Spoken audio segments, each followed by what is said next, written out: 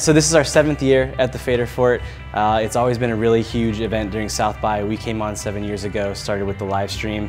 Uh, when we started, everything fit in the back of my Toyota 4Runner, and uh, now we're bringing a 26-foot truck in.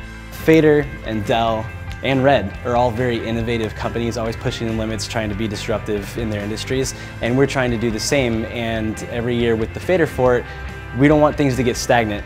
With the 4K broadcast module, it is taking Red into the multicam world, uh, which is our world a lot of the time.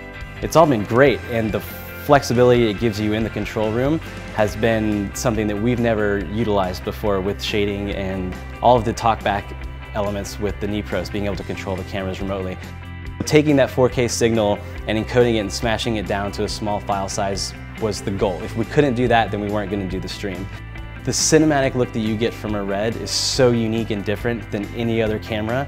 So if we're gonna do this 4K thing and it's gonna be a first, why not also make that look like something you've never seen before?